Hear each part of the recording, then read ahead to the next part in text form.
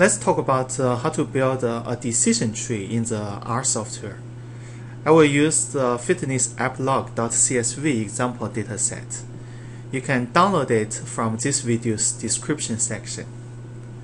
A decision tree is a way of predicting the probability for the dependent variable to happen. It's very easy to build a decision tree in the R software. In my opinion, the more complex the analysis model is, the more advantages we can get from using the R software than using other software like uh, Excel.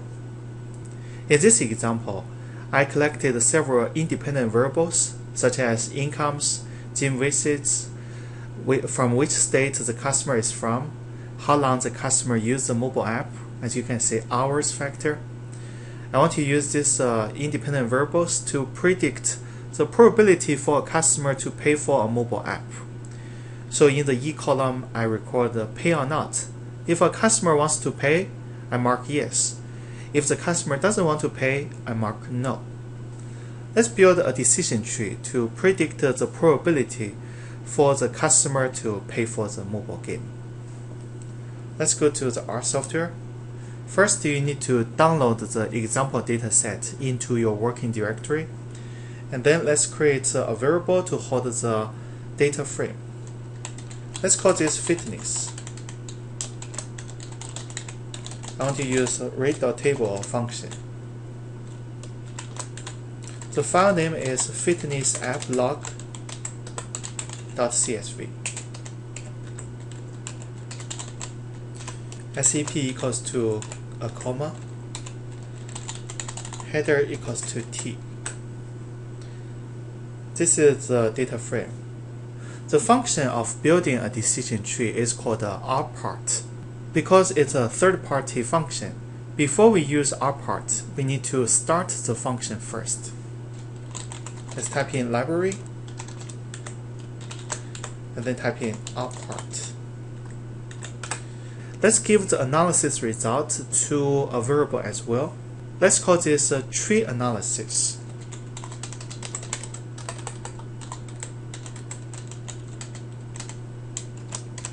And then we can use rpart. In rpart, we need to specify two parameters. The first one is the analysis model you want to build. You want to specify which one is the dependent variable, which one are independent variables. In our case, pay or not is the dependent variable. So let's type in pay or not. And then a tilde sign. Let's say in our model we want to use incomes, gym visits, and uh, state to predict uh, the probability for pay or not to happen. So let's type in incomes plus gym visits plus state. You can change uh, the independent variable to other factors as well. Let's say if you want to use incomes and hours, then you type in incomes plus hours. It's up to you to decide which independent variables you want to use. And then a comma. The second parameter is uh, called data. Data equals to the variable that holds the data frame. It is uh, fitness in our case. So let's type in fitness. Now we already got uh, the decision tree analysis. You can take a look at the decision tree by typing in the variable. Let's say tree analysis. But uh, it's not very easy to interpret the decision tree analysis. Usually when you use a decision tree, you want to visualize the results.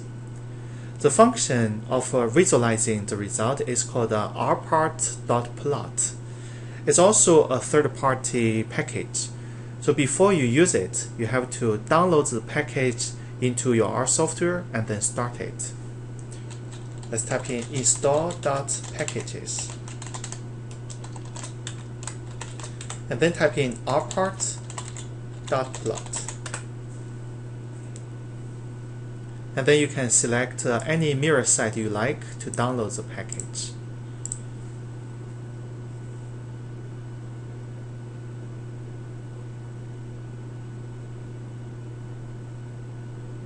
It's ready, let's uh, start it Let's use library. And then type in rpart.plot. Visualizing the result from decision tree analysis is very simple.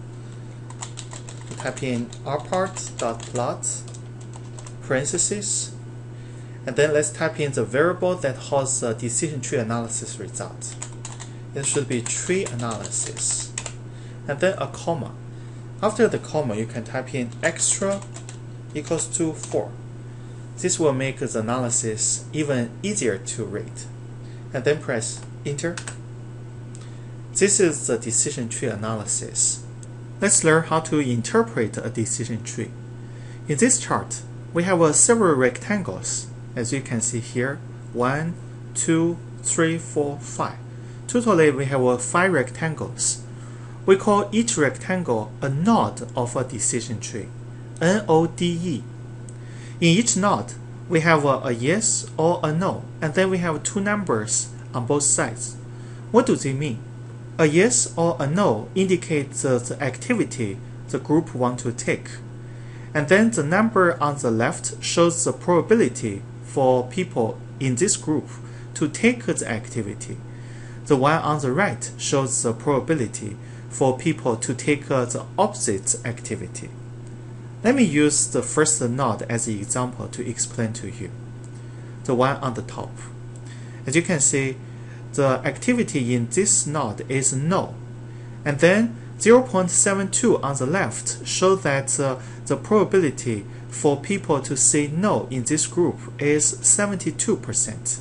0.28 on the right shows the probability for people to take the opposite activity. The opposite of a no is a yes. So from this node, you can see 28% of people in this group want to say yes, I want to pay for the mobile app. Let me use the second node, the node in the middle, as another example. In this node, the activity is a yes, and then the number on the left, 0.34, shows that the probability for people in this group to say yes is 0.34, which is 34%. And then the number on the right shows the probability for people to take the opposite activity. It is 0.66, so the probability for people to say no in this group is 66%. This is how you interpret the information in each node. And then let's look at uh, the questions of uh, the decision tree. The decision tree finally decides that incomes and the state are important questions to ask in order to classify the probability for people in different group to make a payment for the mobile app. The first question the decision tree want to ask is if the customer makes uh, less than 95k a year. If she does, she will be classified into the node on the left side. Otherwise, if the, the customer makes uh, more than 95k a year, the customer will be classified into the node on the right side. And then the decision tree will look at the second question is this customer is from the state of New York? If she is, she will be classified into the node, the darker blue node. Otherwise, she will be classified into the green node at the end. This is how a decision tree classify a customer into different group. Now, how can we use the decision tree to predict the probability of a customer to pay for the mobile app? we need to follow the decision tree's questions. Ask a customer two questions. Do you make uh, less than 95k a year? Are you from uh, the state of New York? Let's say the customer said, uh, yes, I make uh, less than 95k a year. Then according to the decision tree, she should be classified into the left node. If you look at the left node, in this group, the activity this group want to take is no. And uh, the probability for this group to say no is uh, 87%. Then we can predict that if a customer makes uh, less than 95k a year, the probability for her to not pay for the mobile app is 87%. Uh, In other words, the probability for her to pay the mobile app is only 13%. Some classmates uh, may have a question. If a customer makes less than 95k a year, do we need to ask her if she's from uh, New York? No, we don't have to. According to the decision tree, if the customer makes uh, less than 95k, then we can directly predict uh, the probability for her to pay for the mobile app. According to the left node, you can see the probability is 13%. We don't have to ask her the second question if the customer is from New York. But uh, if the customer makes uh, more than 95k a year, then we have to look at uh, the second question. Is she from the state of New York? If she said, yes, I'm from uh, New York, then you can see the probability for this customer to not pay for the mobile app is uh, 0.89. In other words, the probability for this customer to make a payment is 11%.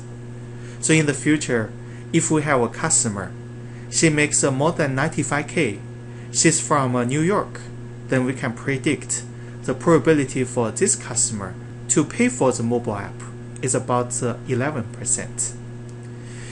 If the customer said, uh, I make uh, more than 95k, but uh, I'm uh, from other state, I'm not from New York, I'm from other state. According to the decision tree, she should be classified into the node on the very right side. If you look at this group, the probability for this group to make a payment is 10%. Then we can make a conclusion that the probability for this customer to make a payment is uh, 10%. This is how you interpret the results and use decision tree to predict the probability for something to happen.